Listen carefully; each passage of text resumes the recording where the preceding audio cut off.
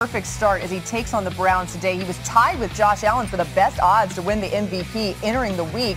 So far, Kyler is who we thought he was, but did former Cardinals head coach Denny Green think in his iconic press conference 15 years ago this week? What did he think then? No, we, you know, I mean, we, we just, uh, we, the Bears are what we thought they were. What, they're what we thought they were. We played them in preseason. Who the hell takes a third game in a preseason like it's bull, bull? We played them in the third game. Everybody played three quarters. The Bears are who we thought they were. And that's why we took the field. Now, if you want to crown them, then crown them. But they are who we thought they were. And we let them off the hook. It never gets old. oh, man. Let's make some picks. This game Beautiful. is really interesting to pick. The game in Cleveland, Browns and Cardinals. Randy, who you taking? Well, as good as Kyler Murray has been, you talk about putting him in the MVP discussion, but it's kind of like a left-hand night having the right hand, not having Kingsbury. But there's really something that I feel that's special that's going on with Kyler Murray and this offense, this air raid offense. They don't have Rodney Hudson. But I think the Arizona oh. Cardinals can remain undefeated. Give me the card. Mm. Okay. Yeah, I don't see how I can uh, sit here and, and take a team that doesn't have a Pro Bowl pass rusher, doesn't have a head football coach. No way I can take them. And the Browns, by the way, are a heck of a football team and they can pound the heck out of the ball, so I'm going to take Cleveland. And I'm telling you, the Browns are missing some key contributors also. Chubb's out. There's some other offensive players that are out.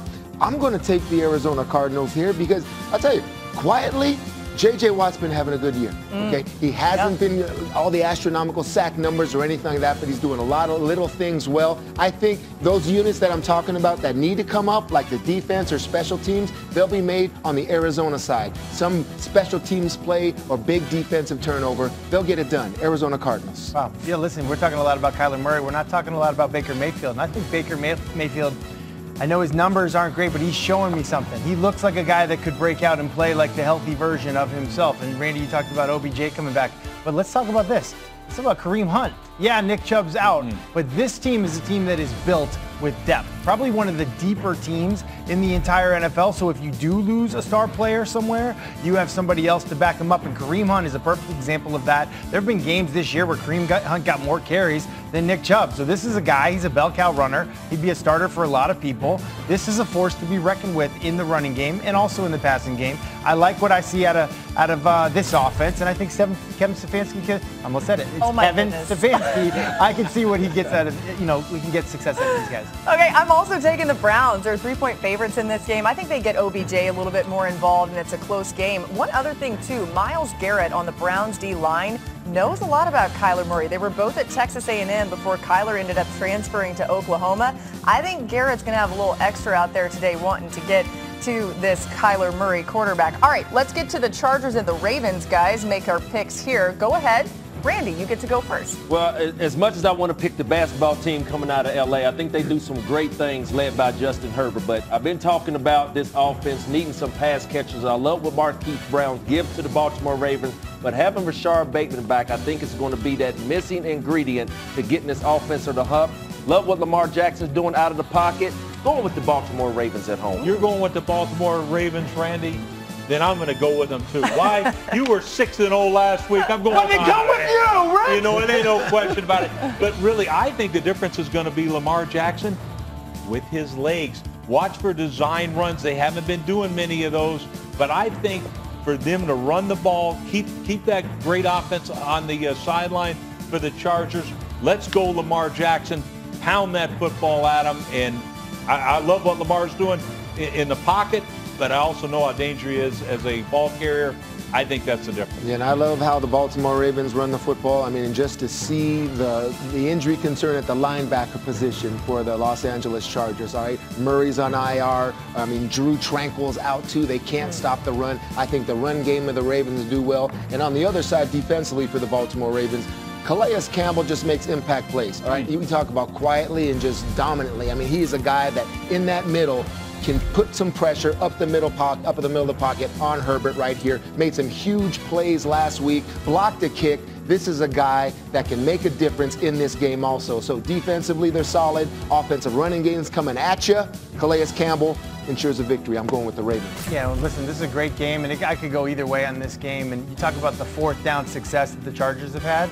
But let's not forget, forget about John Harbaugh and fourth down success with his quarterback, Lamar Jackson. He's got guys that I would call a security blanket. Number one for me, Mark Andrews, that tight end. He showed up last week. I think he'll show up again today. Could be a difference maker in a close game. I'll take the Ravens as well. All right, I'm going Chargers, and I hate picking against Lamar Jackson and these Ravens, but I think Brandon Staley's aggressive play calling will come into play here. His faith in his quarterback, Justin Herbert, matters, and I think the Chargers will win a close one. Guys, the Jags just got their first win of the season and hey, finally hey, broke hey, that hey, losing got to streak. play Miami to do it. Yeah, well, and in London apparently. Uh, we'll get you updated with all the latest on how they got to this point in moments as we get our highlights ready to go here. We want to do this uh, pick as well. So let's do the Cowboys at the Patriots. Cowboys three and a half point favorites on the road against New England. Who you taking? Rick? I know this is a different Cowboys team than what the uh, Patriots faced in, in 2019. Held them to three field goals. I'm still a believer in Bill Belichick's and his defensive mind to be able to contain this high-octane offense. They're at home. It's going to be a tough for the Cowboys to come in New England and get them a victory. Got to go with the Patriots at home. Yeah, all day I've been telling you, Bill Belichick, he's going to be the difference. He's going to be the difference. This is not the same Dallas Cowboy team. I'm expecting a big day out of Amari Cooper because, look, it's been about six weeks since he had this hamstring. He ought to be right, and they haven't been uh, focused on him uh, a whole lot so far. So to me, Amari Cooper has a big day. Mm. They're a better football team than New England Patriots. Give me the Cowboys. You think Amari Cooper has a big day, and I'm really taking the Patriots here because oh, all, all, the Cowboys got to do is grind. Yep. They just got to grind, run the football, do the right things, and grind. I think they come out and be flashy. That's what I think. Mm-hmm. And the mentality of McCarthy, all right? Are you going to blow it before the half? Are you going to blow it at the end? This is a major box, like I said, for them to check. Mm. I don't think they check it because this is going to be close. I think the Patriots hold on to the ball. Running backs, hold on to the football. Please. You got a chance. I'll go with the Patriots. Yeah, I'm going to disagree. I'm going to take the Dallas Cowboys. And, you know, for a lot of reasons. But listen, this team is fourth. Uh, sorry, this team is four and one. That one loss was week one against Tampa Bay. They very easily could have won that game. This is a very good football team.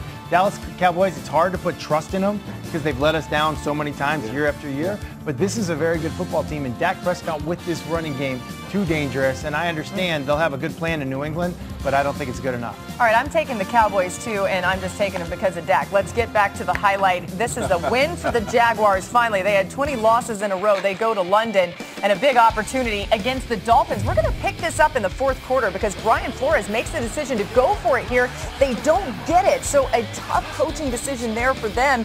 It gives the Jags another opportunity, Teddy. All you got to do is stop that penetration right there, and you get get up under center, sneak it. Please you got one yard to get. Here's center. fourth and eight, and they did get a quick completion on the Jaguars side of things. So then they take a timeout with one second to go. And that allows them to set up for the field goal to well potentially done. win this game. Well done by Urban Meyer, as you'll see here. The kick mm. is good. Matthew Wright with the kick and that means the Jaguars win it. Uh, you, you go. see the coaching decision on Miami's side not going so well, and then on the Jaguars side, Urban Meyer and these Jags, Trevor Lawrence finally getting a win in his rookie season, Rex. Yeah, I mean, Trevor Lawrence is big time. We, we don't question that. We, we kind of question Urban Meyer being an NFL head coach. But good for him.